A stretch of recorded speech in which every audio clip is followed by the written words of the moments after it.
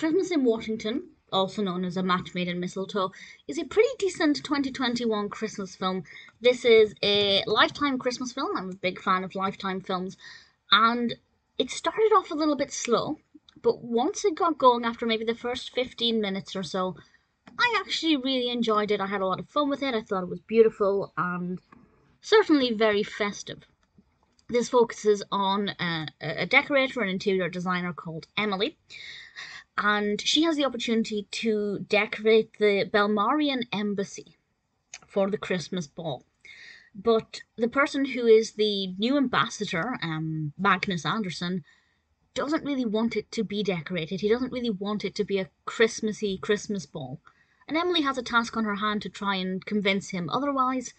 And in true rom com Christmas fashion, sparks fly between them, and Magnus recently widowed, well, five years ago widowed, has a young daughter who definitely makes things a lot of fun. Um, I really liked it. It's kind of cliche. I was able to predict, well, I was able to predict most of it. There were certain things that happened that I hadn't expected, certain things, certainly towards the end, that took a direction I hadn't in, in anticipated, certainly with some of Magnus's actions.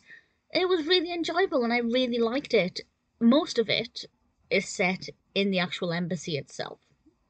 And it is stunning. Emily is obviously a fantastic decorator because the decor for this is gorgeous. Reds and greens and golds and festive colours absolutely everywhere. I honestly thought it was absolutely stunning to look at. The characters were all really likable. The characters who were quite nasty antagonists were fun to dislike. And ultimately, it's it's cliche, but it works. The characters are great. I love Emily's mother. Um, I thought she was a really brilliant character. And just everybody in it was on top form. Emily was played by Natalie Lisinska, and Magnus is Damon Runyan. I think they have a really great on screen chemistry. We also have Tessa Kozma as young Lily, who was absolutely fabulous. Uh, really thoroughly enjoyed it. If you're looking for a fun, very festive, with beautiful, beautiful soundtrack, the music is gorgeous definitely thoroughly recommend this. Brilliantly done, directed by Adrian Langley, and is definitely one that I would be happy to watch again. Not immediately, I'll give it some time, maybe next year, but definitely Christmas in Washington or A Match Made in Mistletoe is a really beautiful film.